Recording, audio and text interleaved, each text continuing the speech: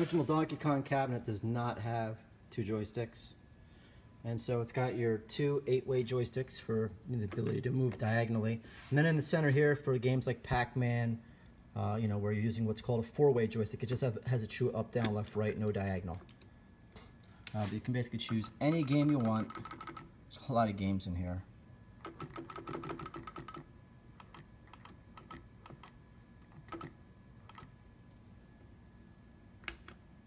These glitching you th things you see on the screen, that's exactly what happens when you first power on the arcade machine, so that's actually normal.